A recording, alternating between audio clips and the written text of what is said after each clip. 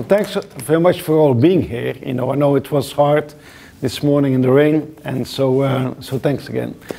So let me tell you a couple of words about you know what this is normally part of and how I normally approach classes and sessions. Okay, I also teach a lot in executive programs uh, and custom programs, and so one of the programs I talk, uh, teach to a senior leadership at BMW, and as you know. Uh, there was a whole diesel scandal or Dieselgate. You know, I was teaching top management at BMW three days after the scandal broke. Okay, and, and to get them engaged was really not easy because they're talking to each other like what's happened to Volkswagen kind of stuff.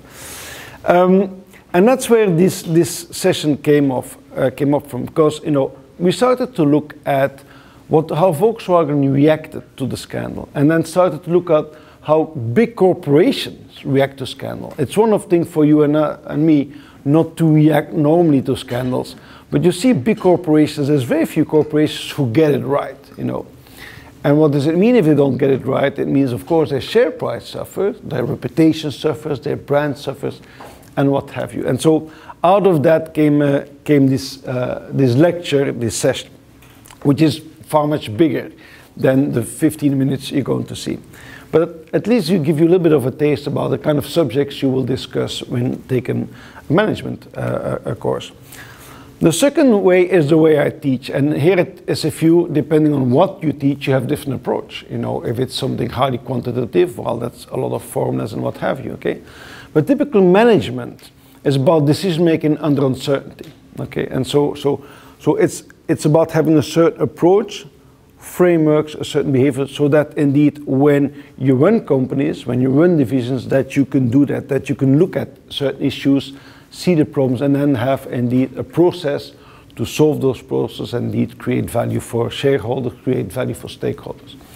Now, you all studied, you know, you all spent decades studying, you know, and if I would ask you like, you know, write all the things you've learned down and what you remember, you will see that probably it's, it's little. Okay, you like like you probably you could probably not fill a day with the things, and, and nevertheless you spend years and years and years. And part of the reason of that is that education so far, and that is changing now, has about learning, about me telling you, you taking note, reading, and then reproducing what I think, you know, and that will give you an answer, something like that. Okay, that's not how management works. Okay, and you guys, you know, when, when groups or teams. That that's not how things work. Now, that's why I like to teach with cases. Okay, why? Because cases tend to be a little bit unstructured. Okay, so the first thing you have is nobody tell you what the real problem is, or people tell you they have a certain problem, but you have to understand where the real problem is, and hence cases allow you to do that. That's one thing. Secondly, Cases are about stories, okay? And stories we remember. And the reason why we remember stories is because the way our brain is configured, you know, or an emotional gland is, connect, is, is just next to our, uh, a long-term memory. And so when and if I can connect with you with your emotional band, what I'm actually doing, I'm tapping into your long-term memory. That's why, for instance, your smell, which is also you know connected with your long-term memory, is one of the longest memories. You will walk somewhere and like, you smell and you think like, oh, grandma's cookies. Okay, 25 years ago, but you cannot repeat what the instructor said yesterday. Think about that. And hence, we want to understand it and want to use that to indeed, you know, imprint learnings in, in, in, in you. And so that's why we learn about cases. Now, teaching a mini case without you having gotten the case is a little bit more, you know, you know, challenging, okay? Because normally you'll get the case to read, you get some questions, and then we'll discuss those kind of things in the class. The class is all about discussion, okay? Because, you know, if only what you do is working hard, what's going to happen is you'll get all the work done, okay? But you won't get paid hardly as much as the people who take the decisions. And hence being able to communicate, being able to debate, being able to listen, you know, and being able to convince and inspire is all part of management, but it's also part of the case method. And so that's one of the reasons I like cases. This picture is four years ago, so I'm, you know, I'm getting a little bit older now, okay? So, so it's not morning, it's just me getting older. Good. Let's see if I can get this working. So, so, so we'll talk a little bit about an example, which I already said, is the Dieselgate, and, and things we've learned from that, or things that research uh, shows us that as a, a good, uh, a good approach. Good. So look at this. This is the share price of the company Volkswagen under its CEO, okay, between, you see that left 2007 and 2015. So this CEO took over from the previous CEO, which had been a member of the original family, who had created reasonable amount of value. You know, he had people in charge, okay?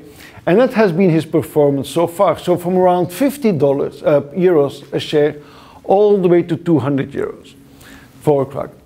If you compare that to the competitors, which are the two are, uh, um, uh, Daimler, you know, uh, Mercedes on one hand, and uh, and BMW, okay, the top line is uh, is Volkswagen, the second one is, is uh, BMW, and the third one is Mercedes. Okay, so over its present CEO and its present top management.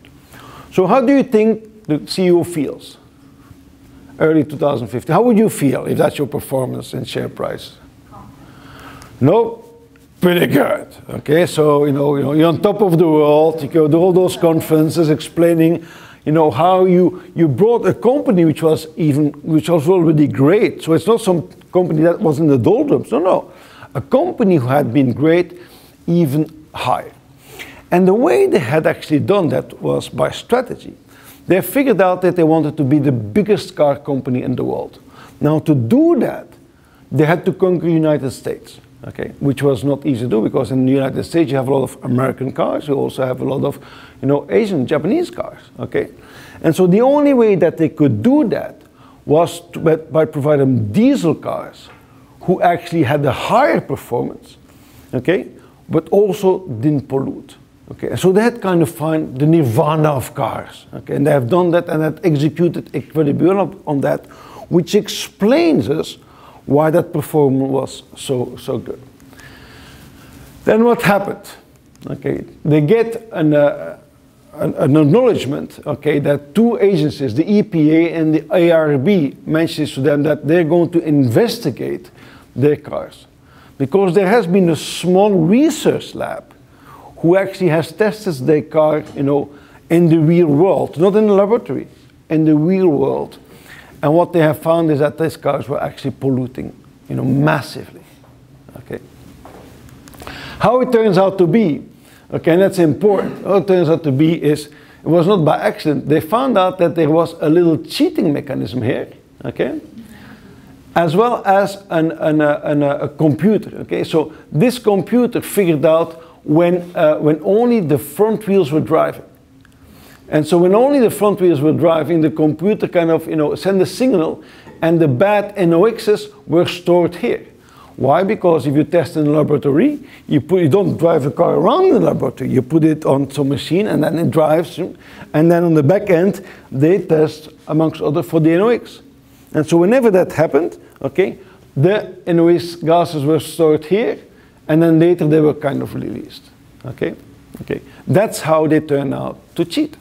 Okay, here is what happened after this was announced. So this is, you know, you can see before already, you know, they, you know, you often see that, and, and that's a subject of study about insider information and those kind of things. You tend to see adjustments okay, before you know news uh, happens. You have that in mergers and acquisitions, you also have that in scandals like this one. But that's when the news dropped that there's going to be an investigation. So about 35% of the value of, uh, of Volkswagen disappears within months. Okay, we're talking about here in two months. Okay, 35%. We're talking about more or less about 30 billion dollars gone. You know, up in the air, as people would say. Uh, uh, how do you think you, you feel now as a CEO? Yeah. That's when, that's when the crisis kind of happens. Okay, that's when the crisis kind of happens, you know, and now the, you know, we have, we have the second new CEO now, okay, uh, um, but, but it took a while, okay. Now, let's focus on communication. You think that a company like Volkswagen would be on top of that, would say like, oh, this is a scandal, Okay, we know what to do now, no, internally, but we also know what to do externally. Well, I'll show you a couple of clips. Okay, that's the best he can come up with. He says, I am resigning in the interest of the company, even though I'm not aware of any wrongdoing. How helpful do you find that? As somebody who's bought the car, you know, but the main reason that you bought the car is because it polluted less. Okay? The person responsible for its strategy says, I'm out. Okay? Think about the shareholders. You know, shareholders, you put your trust in leadership, that's what you get. Now, does anybody know what Winterkorn did before he was CEO of the company? He was the head of innovation. So highly likely, if somebody knew what was in this car, it's probably under his under his watch. Okay, but still as a CEO. Okay, that's next what comes out. So there were rumors that their Audi, which is also part of the big Volkswagen group, had the same thing. So November the 2nd, they come up with a statement saying Volkswagen wishes to emphasize that no software has been installed in this car and your units to alter emission characteristics in a forbidden manner. And then two, three weeks later, it has to say, well, one of the auxiliary emission control devices is regarded as a defeat device according to applicable US law. You know, if, if you read that, it, for me, it, it, it, looks like, okay, there's something there that can be qualified, can, can be quali which, which is used for something else. Okay, it's like somebody saying like, you know, I've been taking vitamins and now it turns out that you cannot use those vitamins for whatever. Or I have asthma and I'm using something, you know, and, and, and now the, uh, the anti-doping agencies in sports say I cannot use that. No, that was not the case. That device sole purpose was to cheat. Okay? So, so think about how you feel about communication which is not straightforward after this has happened. You know, so they kind of digging themselves deeper and deeper and deeper in, um, in the mess. In the meantime, and that's you don't often see that that investors come out in the news and and start vocalizing what they feel. Okay, and I'm not talking about you and me; those are big institutional funds. Okay, one says the Volkswagen crisis communication to date have not left us with the feeling that the company has managed to get on top of things. I think that was Hermes. And another one says the press releases from Volkswagen seem almost purposeful designed to infuriate further investors and regulators with their obscure language. And hopefully from the previous example you can find it. And then the third one said Volkswagen has taken every opportunity to compound its trouble with US regulator and damage its image with consumers and investors. Okay? So that's what you get. And in the meantime, the stock price goes lower and lower and lower. Now, this has ramifications for the entire company. You are top professional in Volkswagen, and BMW has tried to hire you for the last four or five years. What do you start to think? You know? You are a potential customer who wanted to buy a Volkswagen, was, has been buying Volkswagen. What do you start to think? So we often only see the top layer and we see what the CEO is doing, but in every fissure of the company, those things has its effect. Okay, and one of the things you learn is that you have to take care of all those things when you're in those companies. Good. Actually, my colleague at Michigan said. The mismanagement of the crisis will be a classic case study in business schools around the world. And so, so that's why we like to look at it. What can you learn from it? And then what can you learn from it? So when you're in situations like that, first of all, to prevent to come in situations like that, okay, that's why we teach ethics too, okay? We're not only saying, what you, once you made a mess, what do you do now? Okay, we like, we also discuss why you should not get in a mess and how do you do that, no? But once you're there, you know, how do you run that? Good, and that's, that's a little bit what we're going to look at now. What do you think is the fundamental root of the problem when it comes to mismanagement of crisis? What's that? Owning the problem is important, okay? It's about, you know, that's, that's what leadership is about, okay? Having character saying, listen, I messed up, no, we'll, we'll take it from there. You know, you have to start with that. But there's a more profound, deeper root. Um, denying or being disappointed. That's not good, okay? You shouldn't do that. Pride. Pride. Uh, indicating that you have a solution. Yeah? There's a lack of the communication strategy. Communication is going to be important. Okay? But the root is indeed how we are configured. Okay? And that's where most problems always lie. Okay? Okay? It's not all of a sudden that all the bad apples in communication have been put together in Volkswagen. No. We see that over and over and over again. And why is? Because it's human taking decisions in those kind of circumstances. And so what happens now, it turns out that, you know, our brain is configured in a certain way that works very well in 95% of the circumstances. Okay? This morning when it was raining, you probably drove slower. Okay? You didn't need police to be around to explain you that. Okay? Or when it's red, you stop. Okay? Or if somebody shouts, you look. Okay? Okay? That's one part of our brain that gets activated all the time. Okay? It's when we think fast and we have to make snap decisions. And, and our life is like that. The whole day, that's what we do. Okay? And that's lying, you know, in a deeper level on the front. For other kind of problems, okay, it's another part of our brain that we have to use. And that part of our brain is slow. That's why we don't go there automatically. That's why the default is in the faster part. Okay? And in the slower part which indeed analyzes things, diagnoses, looks at data, you know, and comes up with decision making. Okay? Okay, that's why, you know, if you take big decisions in your life, you know, that's probably what you should be doing. Okay, you probably don't buy a house like, okay, I like this house done, mine. Or I know, what's your name? Mary, I like you, let's get married. You know, those are fundamental decisions. And hence, you know, you want that other part of your brain at least to get involved in that.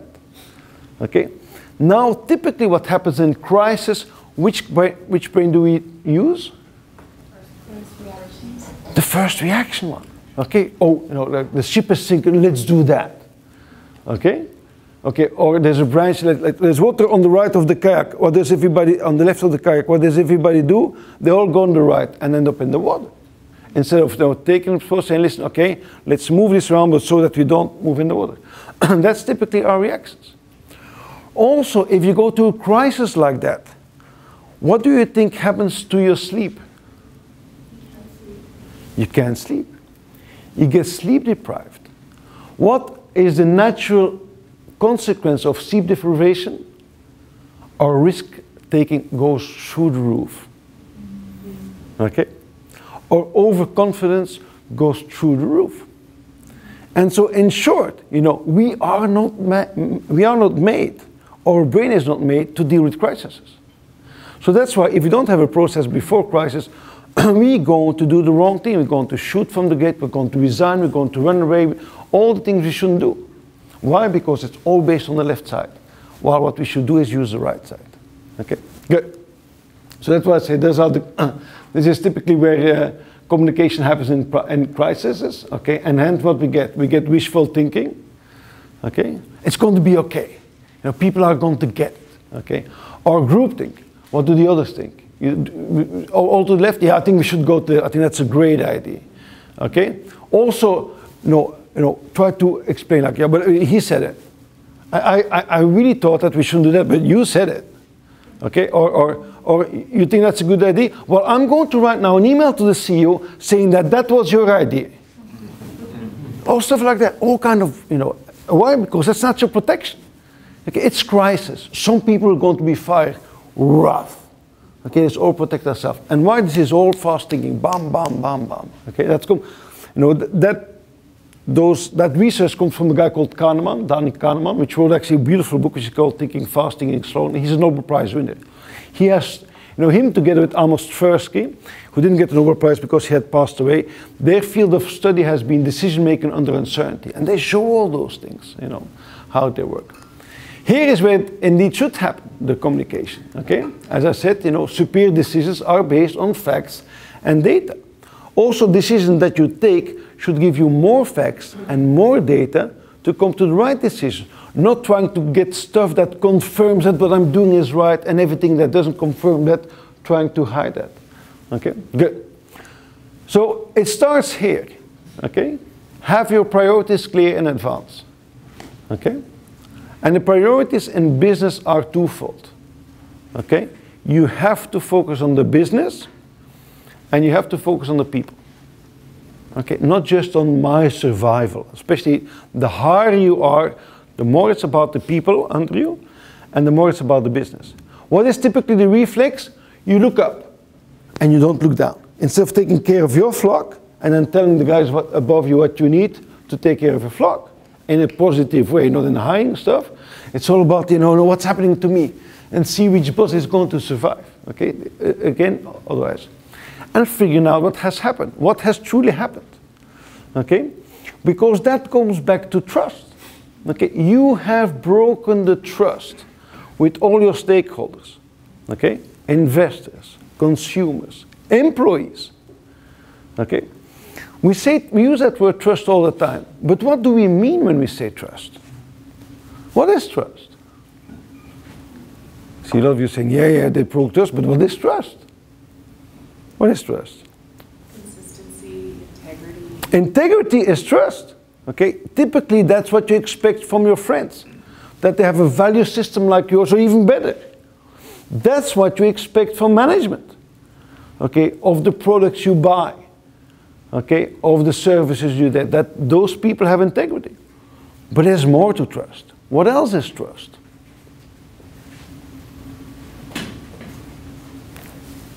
mutual agreement. It's faith that the other person will take the action that's in everyone's best interest. Capability. Okay, capability. When you fly a plane, do you trust the pilot? With your life. You never met the person. But you trust, trust the person with your life. What are you trusting? That they're ethical? No. Or hope to, you hope that too. But you, you, you, you believe that they're going to be able to safely take this plane off the ground, fly it safely, and land it safely. And if anything happened, to be able to deal with it. That's capability. Okay?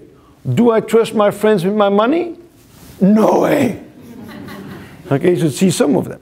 You know, I love them dearly. They have fantastic in- integrity. But they don't know the difference between a stock and a bond. Okay, those are different levels of trust. Of those guys, you expect both. They have broken that. No, and one of the things we discussed is that how do you build trust? Again. And it's typically, you know, first of all, transparency.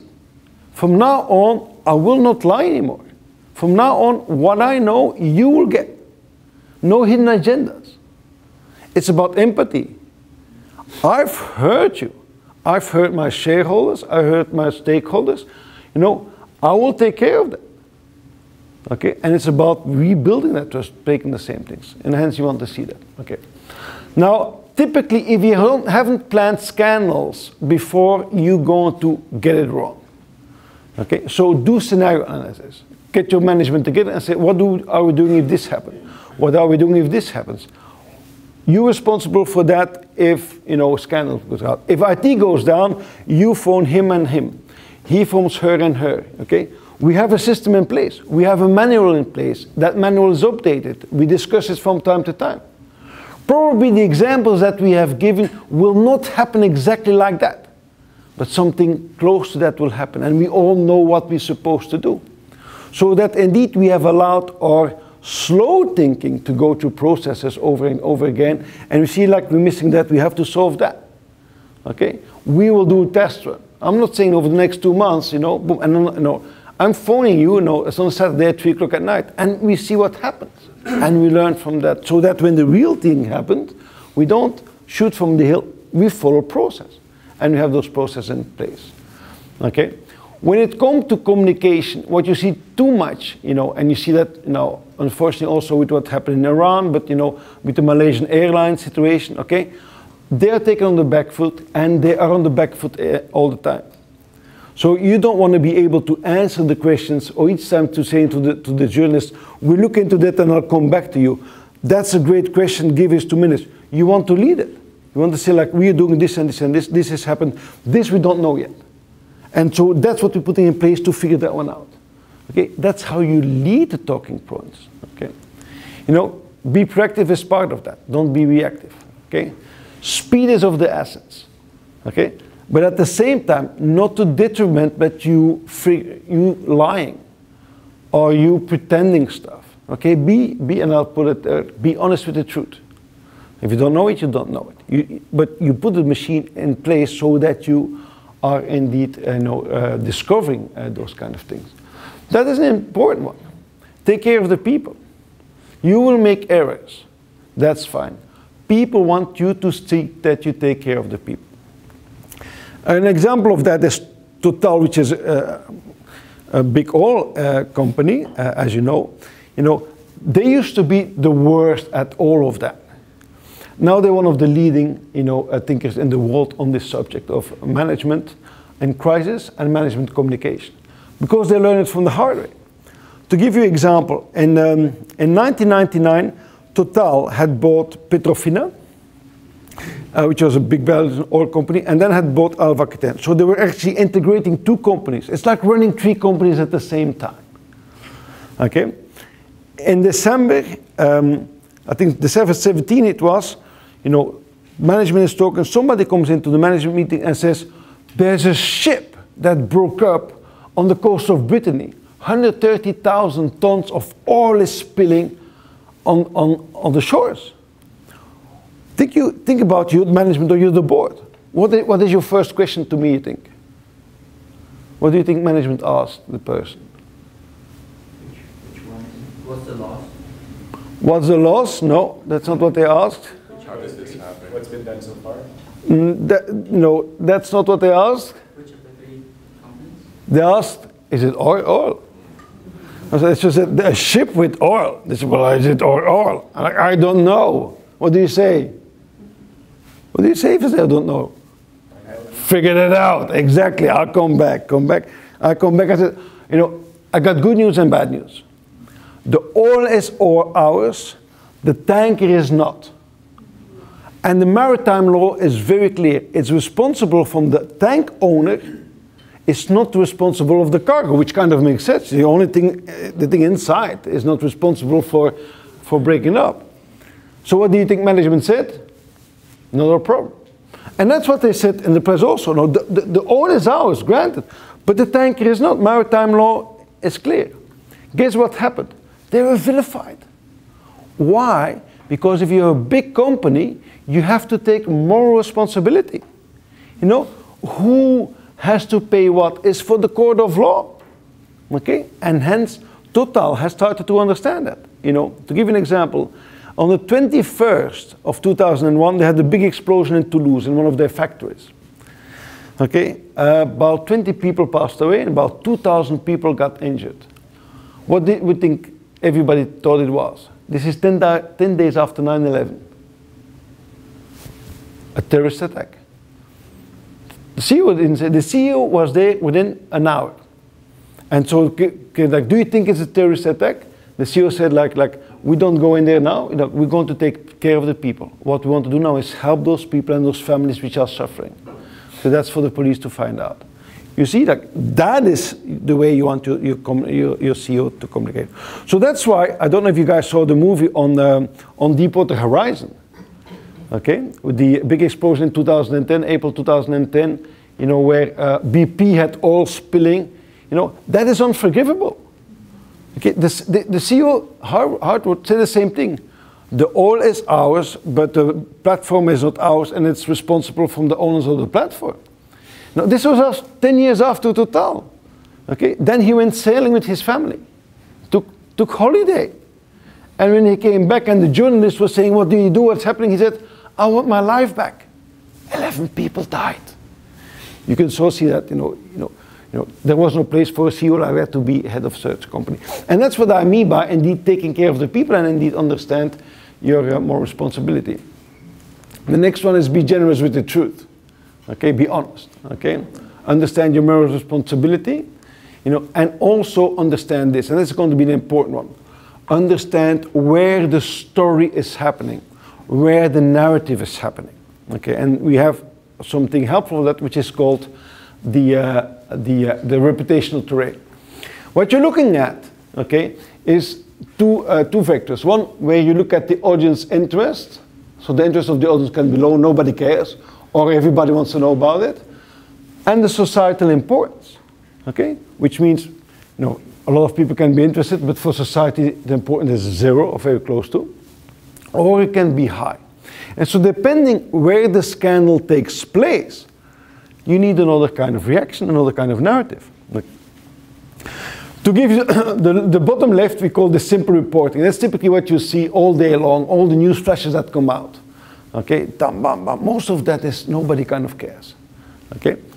Now, on the right side, you have things which you see in, in cable news and what is called infotainment, which is a lot of interest for the audience, but for society it doesn't have any importance. The fact that Angelina and Brad are back together, you know, millions of copies of Hello and sold on the back of that, it will not affect society. Okay?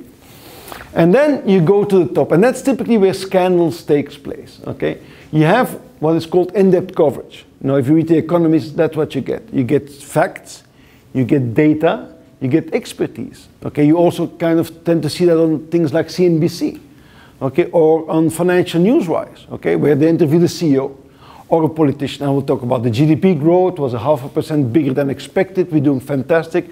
That's those kind of languages. Or unemployment is that, or what have you. Okay, and then from time to time you go to the top right. Okay, where it is a big importance of social uh, uh, for society, and a lot of people are also interested. Now, where do you think Volkswagen took place? Top right, that is totally correct, top right. And CEOs are not prepared at that. Because CEOs go on television and they talk top, top left. They talk about facts and data. And the more they do that, the more people say, oh, he or she is lying. Look, they're hiding behind their expertise.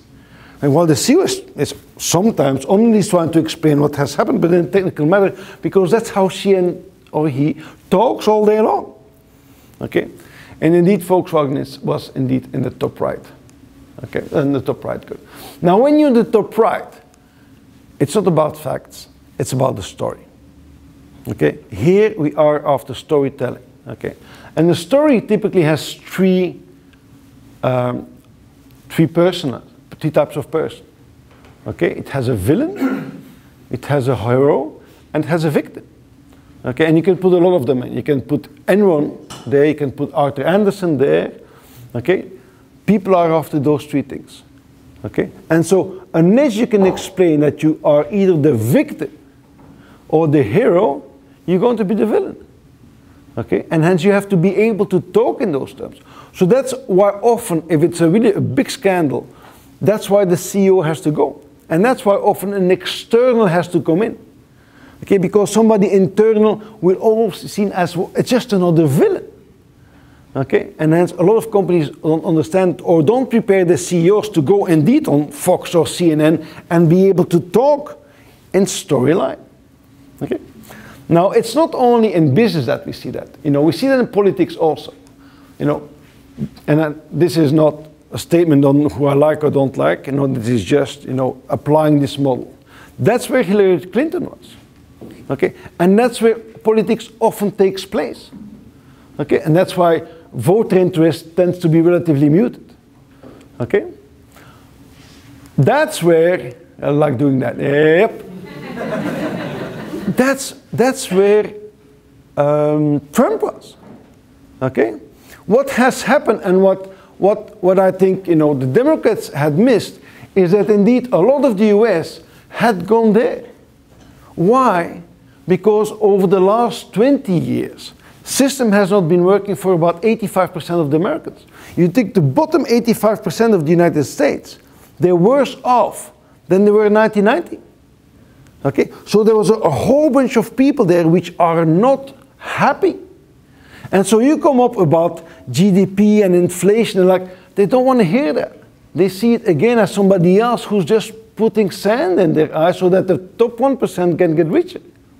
Okay?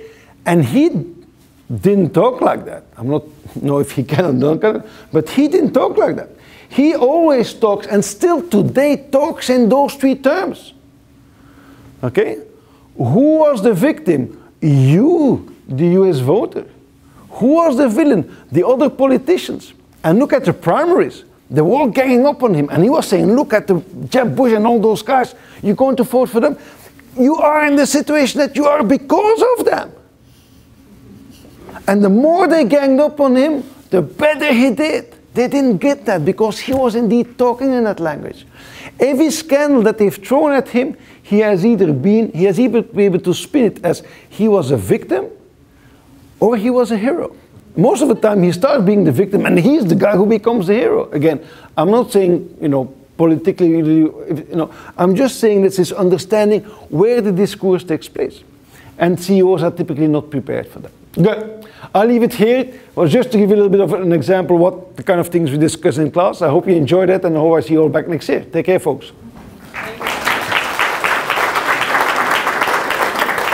Thank you.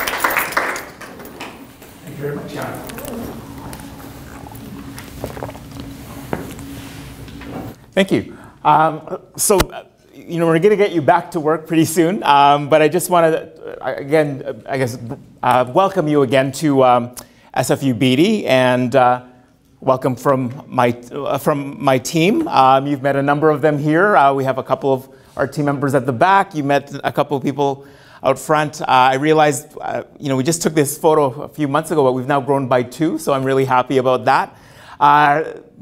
Uh, many of these people are the ones that, I, that you'll have the opportunity to talk to one-on-one. We do invite you after today if you're interested in in uh, one of our programs to set up an advising appointment. We're very happy to, to talk to you about our programs.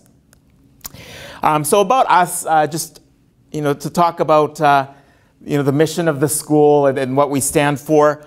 Um, this this is the building uh, of the Segal Graduate School uh, here in Vancouver. Um, we're very proud of the fact that uh, we you know we're in the top 1% of schools in the world uh, with dual accreditation from AACSB from the US and EQUIS, which is a, a worldwide uh, accreditation. Uh, it takes a lot of work. Uh, we know that. We actually have someone on staff who, who deals primarily with accreditation requests, so we know how much um, documentation is required for that and, and what a feat it is to actually accomplish both of those accreditations. Um, we're also proud of the fact that uh, we, we stand on three pillars here at, uh, at. Uh, we stand on the pillars of uh, global mindset, on innovation and entrepreneurship, and social responsibility. And those are three things that you will see weaved throughout the program. Uh, you'll probably be lucky enough at some point uh, to, in, to encounter you know, our great team um, that looks after innovation and entrepreneurship. Um, often I bring Andrew Harries, who's, who teaches entrepreneurship in all of our programs, uh, to conduct a mini class, and so you'd have the opportunity there to, to learn about uh, you know, what we do differently in terms of entrepreneurship here at, at SFU Beedie. Um, we have a number of programs. I'm not going to go through all of them. I mean, I'm not going to describe all of them, but you'll see here we, we, do have a full suite of programs that we're very proud of. Uh, we look at, uh, after people throughout the whole life cycle of their careers after their undergrad. Um, so we've got a full-time MBA program that's a one-year program that takes place here.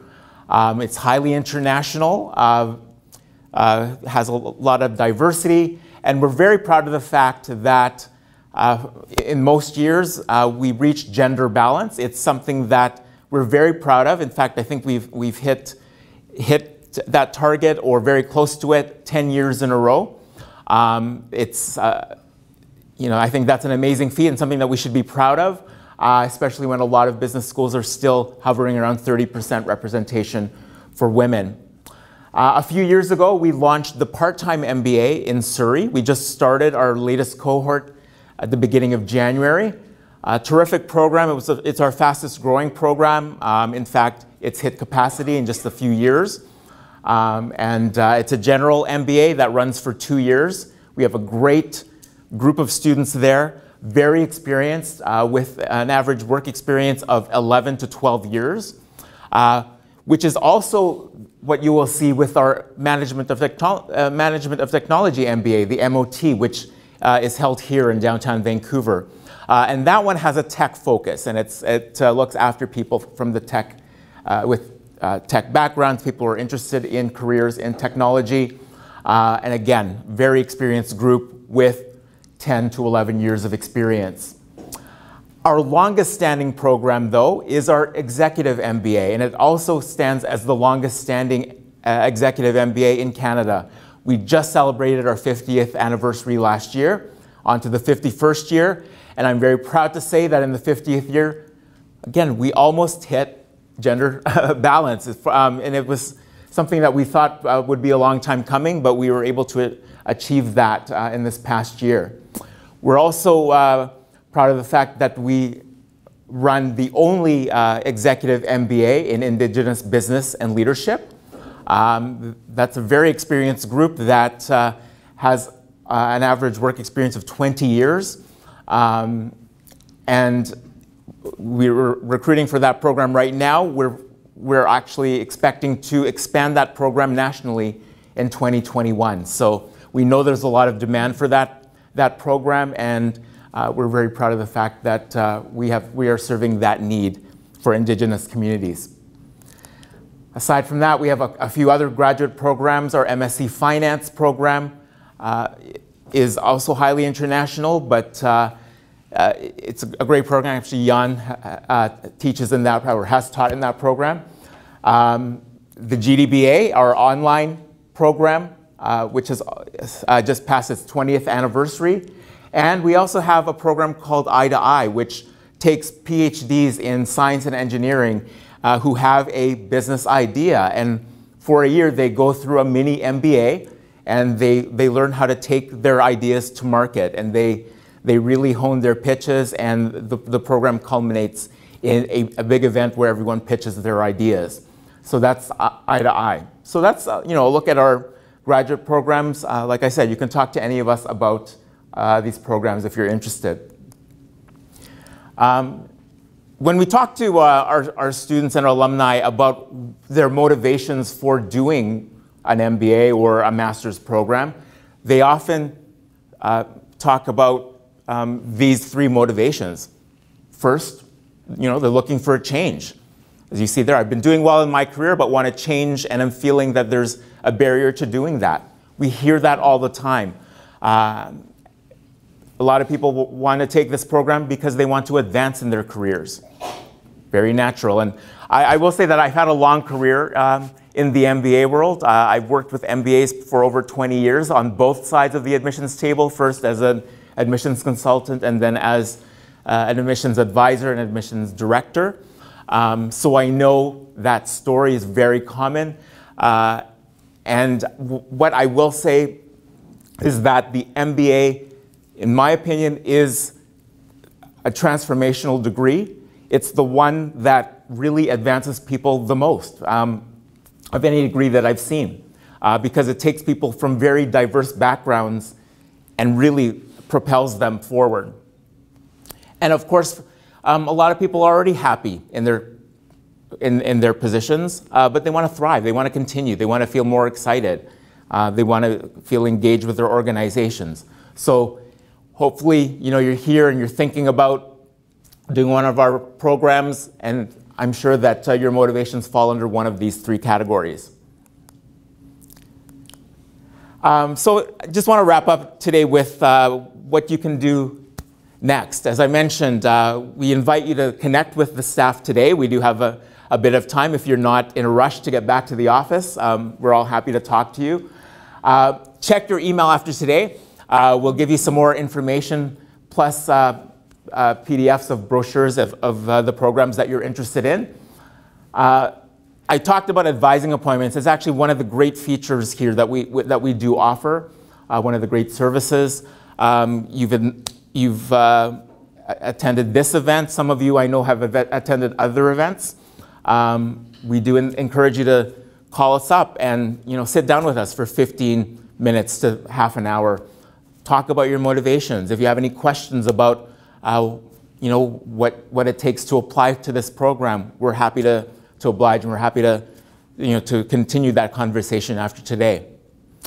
Um, you've had this great experience today with the mini class. Um, we have these from time to time, so you know, make sure that you look at uh, our website on a regular basis. But we also um, invite you to, to um, come to a full class, um, to, to sit in with our, with, um, our MBAs. uh, you know, book a class visit. So you can do that with our staff as well. Um, very important, I'm sure many of you have already done this, uh, connect with current students and alumni. A lot of students who, who come to us have been recommended by friends and colleagues and uh, who've gone through the program, and that's certainly um, something that we really value. Uh, but I know also that in this age of, of social media, people are already reaching out. Uh, I know our international students in particular reach out to people all the time on LinkedIn. So do that. I mean, reach out to people who've gone through our programs. Uh, we, we, know that um, they'll have a lot of positive things to say about their experience and, as I said, how transformative it can be.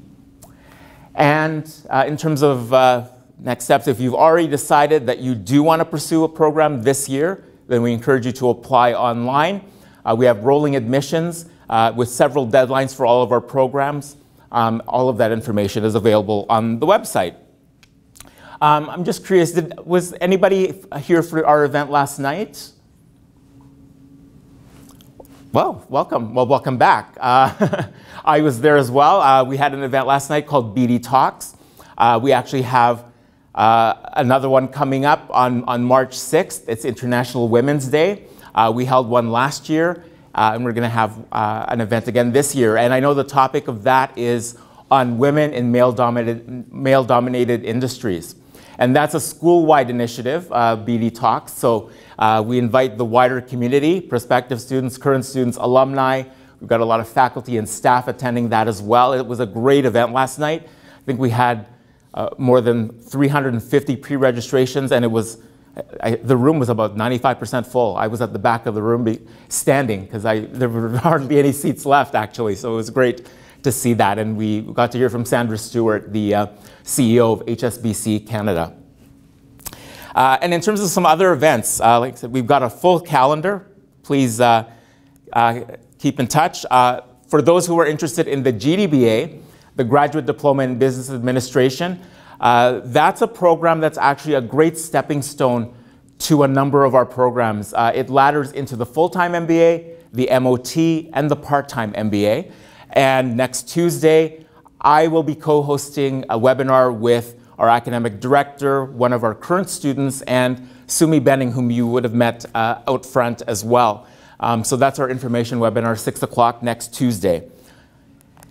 And another big thing to put on your calendar, we're telling you to save the date.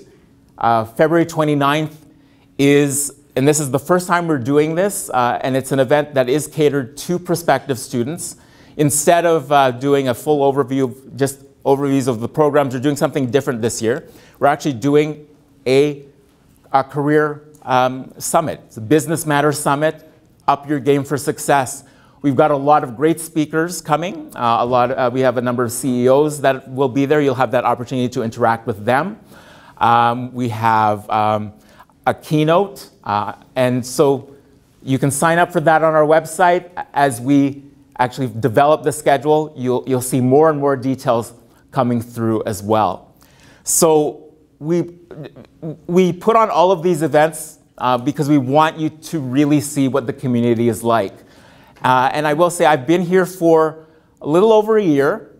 Um, and I used to work at UBC. I always heard a lot of great things about SFU Beedie, and certainly now living here and working here, um, I can say that they're, they're true. And one of the things that's really stood out for me is that sense of community amongst alumni, students, and certainly as a staff member, I really love the, collabor uh, the, the collaborative uh, nature of the work that we do. Um, and I think that that you know, is, is certainly testament to you know, what a great place this is. So I hope that you did enjoy your morning. Uh, and uh, if you do have further questions, um, myself and my team are certainly uh, welcome to uh, continue to engage with you this morning and, and beyond. So Thank you very much to all of you here in the room and also to those of you who are tuning in uh, online. Thank you very much. Have a great day, everyone.